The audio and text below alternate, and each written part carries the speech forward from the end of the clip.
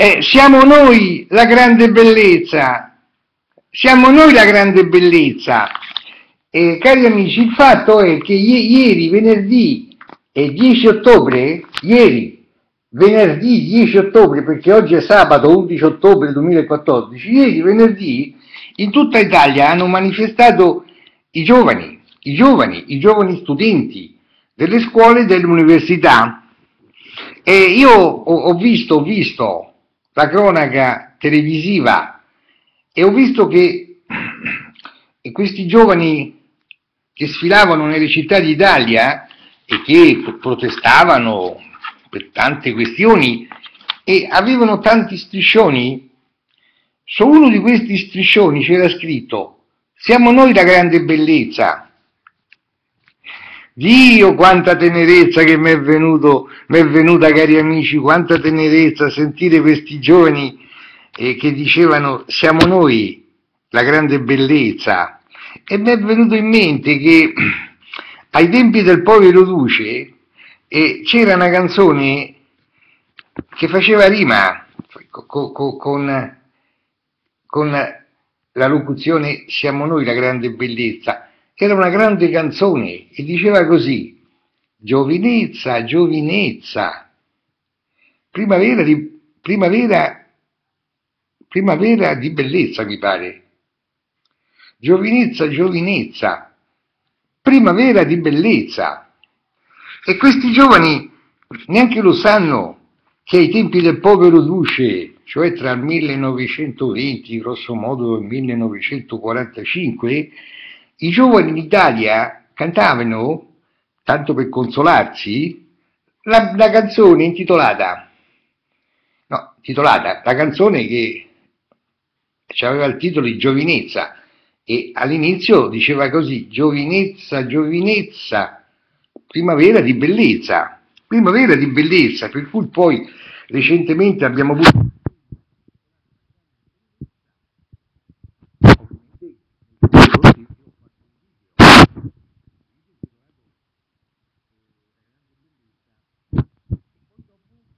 e prima c'è stato pure la canzone, la canzone del, de, de, del povero Duce, che si cantava ai tempi del povero Duce, giovinezza, giovinezza, primavera di bellezza, e se ci riesco io questa canzone ve la metto come link nel riassunto di questo video, vediamo se riesco a farlo senza violare la normativa sul copyright, va bene? Ok cari amici, e mi hanno fatto tanta tristezza, mi hanno fatto questi giovani.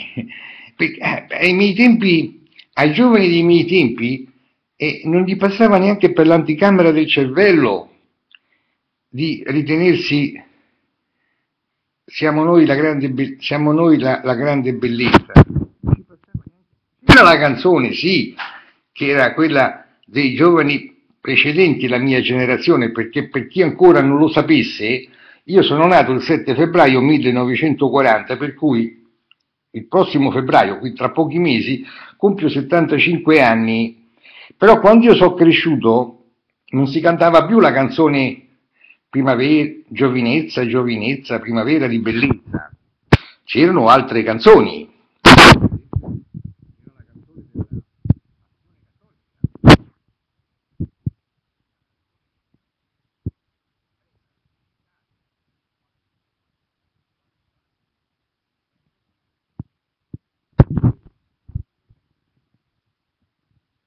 ciò fu qual falange di Cristo Redentore la gioventù cattolica in cammino.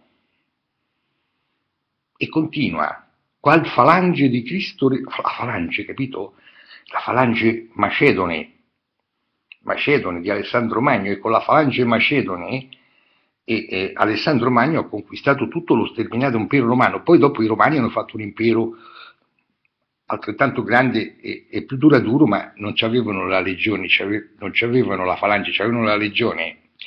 Beh, insomma, ai miei tempi non si cantava più eh, giovinezza, giovinezza, primavera di, di, di, bellezza, si cantava invece qual falange di Cristo Redentore, la gioventù cattolica in cammino, eccetera. e, e, e a, noi, a, noi, non ci veniva in mente di essere la grande bellezza per il semplice l'Italia era stata molto molto bombardata abbastanza bombardata non tanto quanto la Germania che sia chiaro perché nel corso, ma mai nazione a questo mondo forse tranne il Giappone che ha avuto due pillole nucleari forse tranne il Giappone mai nessuna nazione a questo mondo nel corso della storia è, è, è, stata distrutta quanto fu distrutta la Germania nel corso della, della seconda guerra mondiale a seguito di continui, ininterrotti bombardamenti da parte de, delle flotte aeree eh, eh, inglesi e americane che si susseguivano in continuazione a ondate, a ondate, a ondate. E eravamo reduci noi nati nel 1940, 41, 42, eravamo reduci da, da una sconfitta.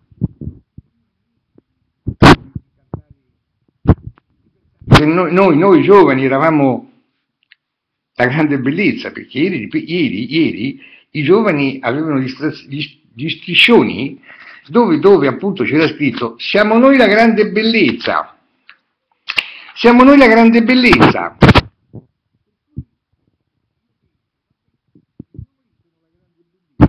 E che cosa siamo? Siamo da buttare via, vero? Lo so che siamo da buttare via, lo so, lo so. Però io mi difendo, eh, cari ragazzi, io mi difendo perché io mostro sempre questa mia opera, la mostro sempre questa mia opera che adesso è in tutto il mondo in lingua inglese. Ed io, io Serafino Massoni, non sono meno vanitoso di voi. Voi dite che siete voi la grande bellezza, e io dico che quest'opera è la nuova Bibbia dell'umanità, che adesso la stanno comprando in tutto il mondo perché si trova sul grande web store, sul web store mondiale, iTunes della Apple. È un'opera, è in lingua inglese, prima è apparsa in lingua italiana, prima è apparsa in lingua italiana, sbaglio sempre, sbaglio, è questa, è questo, è questo. From Matriarchi tu patriarchi, in lingua inglese, vedete, in lingua inglese. È l'ultima delle mie opere, le mie opere poi sono tante, eh? tante, molteplici, vedete che spettacolo, cari amici. Comunque, anche non sono meno vanitoso di voi, anche se sono vecchio. Voi vi definite la grande bellezza, dite che siamo noi la grande bellezza. Io mi limito a dire che questo ebook in lingua inglese ora sta sulla grande piattaforma, eh, sul grande web store iTunes della Apple. E se voi, cari amici, oltre giovani, che siete giovani, oltre alla grande bellezza, volete anche la felicità, beh, dovete leggere quest'opera, capito? Ci, basta un clic per scaricarlo sul vostro Mac, basta un clic, perché la trovate e ce n'è per tutti, la trovate sul grande web store iTunes della Apple, capito? From matriarchi to patriarchi. Ecco cari amici,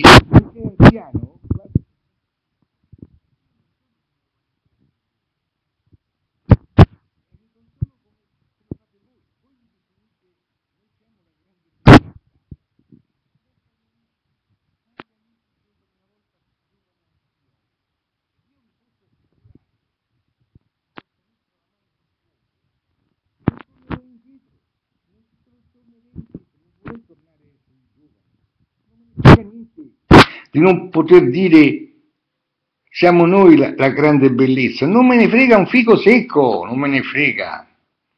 Sto bene così, con i miei quasi 75 anni, la mia pensioncina.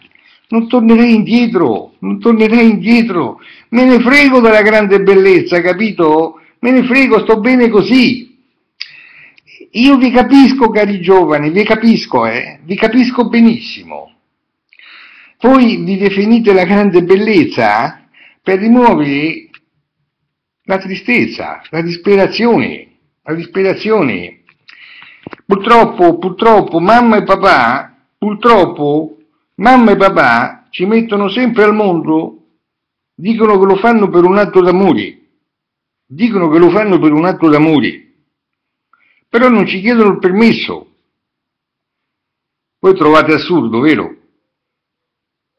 Un'argomentazione che sostenga che si deve chiedere il permesso ai bambini prima di nascere, lo so che la trovate assurda, però, però noi non dobbiamo dimenticare che noi viviamo nel grande occidente cristiano, comunque nel grande occidente, che il grande occidente conosce tre grandi divinità monoteistiche e patriarcali che sono Yahweh degli ebrei e Gesù Cristo dei cristiani e Allah degli islamici.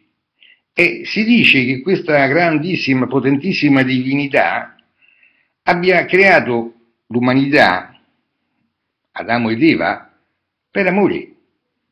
Per amore.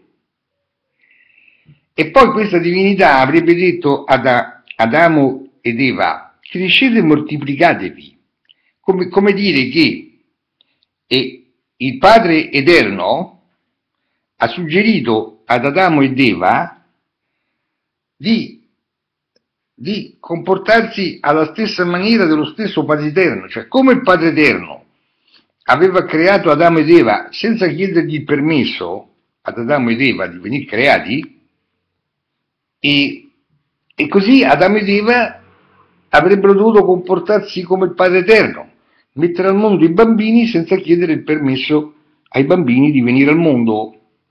Quindi la mia argomentazione sul piano logico è valida, perché il Padre Eterno, prima di creare Adamo ed Eva, un mucchietto d'argilla lì, due, due, un mucchietto d'argilla, una bella costola e via di seguito, poteva chiedere al, al, al, mucchietto, essendo il Padre Eterno onnipotente, onnipot, onnipotente vuol dire che può fare quello che vuole, gli poteva chiedere al mucchietto d'argilla, guarda io ti sto trasformando in un essere umano, ti spiego pure che cos'è un essere umano, Vuoi tu, mucchietto di argilla, restare un mucchietto di argilla o venire trasformato in un essere umano? E, e, e Dio Onnipotente poteva operare in maniera che il, il mucchietto di argilla rispondesse, sì, non voglio restare più un mucchietto d'argilla, ma voglio diventare un essere umano, oppure no, no, poteva dire no, no, io sono felice di essere un mucchietto d'argilla. Beh, tornando a mamma e a papà, mamma e papà ci raccontino, ci raccontino che ci hanno messo al mondo per un atto d'amore, lo chiamano un atto d'amore. E costa tanto caro questo atto d'amore, cari, cari ragazzi, perché voi vi definite siamo noi la grande bellezza. Ma quanto gli costate caro, cari ai vostri genitori? Quanto glielo fate pagare caro l'atto d'amore che hanno compiuto per mettervi al mondo? Uh, quanto?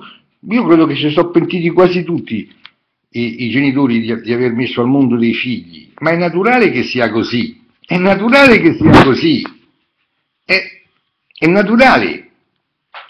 E può darsi pure che il Padre Eterno si è pentito poi di mettere al mondo l'umanità, può anche darsi. Io so di certo che l'umanità nel suo insieme si lamenta sempre, chissà perché l'umanità si lamenta sempre.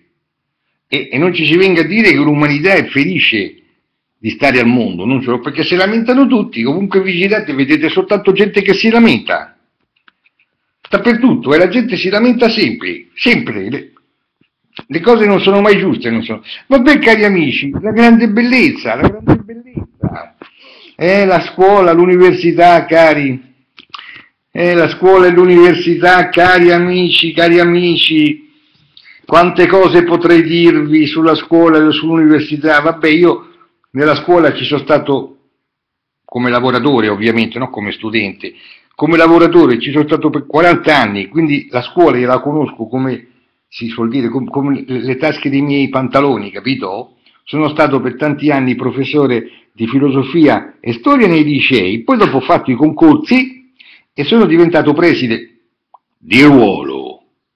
Di licei classici e scientifici e adesso sono, sono preside emerito, si dice, preside emerito, vuol dire uno che lo è stato prima, lo è stato preside emerito, in pensione, ho la mia pensioncina e non farei a cambio, non farei a cambio con voi, non tornerei indietro per, per tutto l'oro del mondo, Per carità, per carità, per carità, cari amici, tenetevi pure la vostra bellezza, cari amici. Io mi tengo i miei 75 anni la mia pensioncina, che sono alla fine della mia vita. Io ho già detto in tanti video che non l'ho chiesto a nessuno di nascere. Non l'ho chiesto a nessuno di nascere. Se fosse stato per me io avrei preferito non nascere, capito? Va bene, va bene, cari amici.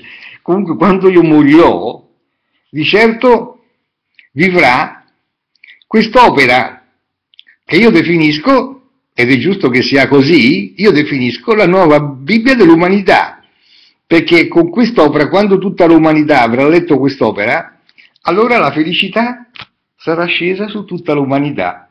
Ok cari amici, grazie a tutti voi, tanti saluti da Serafino Massoni.